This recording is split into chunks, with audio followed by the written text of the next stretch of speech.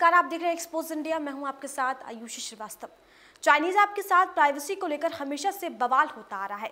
भारत से लेकर अमेरिका तक की खुफिया एजेंसी समय समय पर लोगों को चाइनीज़ ऐप्स को लेकर आगाह करती रहती है। अब भारतीय खुफिया एजेंसी ने भारत सरकार से बावन चाइनीज़ मोबाइल ऐप्स को ब्लॉक करने और लोगों को इस्तेमाल ना करने की सलाह दी है। भारतीय सुरक्षा एजेंसी ने चीन से जुड़े मोबाइल एप्लीकेशन को लेकर जो कहा है, वो बेहद हैरान करने वाला है।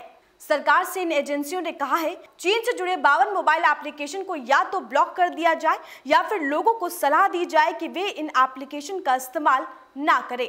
दरअसल एक अखबार में छिपी खबर के मुताबिक एजेंसियों का कहना है कि ये ऐप्स सेफ़ नहीं है और ये यूज़र्स का डाटा भारत के बाहर स्टोर कर रहे हैं। रिपोर्ट्स के मुताबिक चाइना के इन बावन ऐप्स में सोशल मीडिया प्लेटफॉर्म टिकटॉक और Vigo live file sharing service SHAREit UC browser mobile web browser e commerce platform Shein popular game Clash of Kings और कई सारे शियोमी के ऐप्स मौजूद हैं। एक वरिष्ठ सरकारी अधिकारी ने बताया कि हाल ही में राष्ट्रीय सुरक्षा परिषद के सचिवालय द्वारा खुफिया एजेंसियों की सिफारिश का समर्थन किया गया था। सरकार को भेजे गए पत्र में कहा गया था कि ये ऐप्स भारत की सुरक्षा के लिए हानिकारक हो सकते हैं।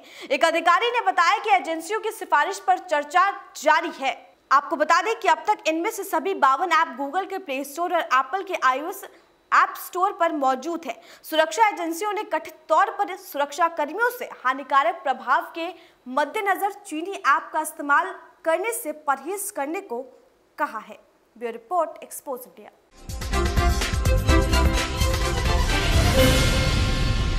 Hi guys, this is Neetu Chandra. You're watching me on Expose India. Keep watching.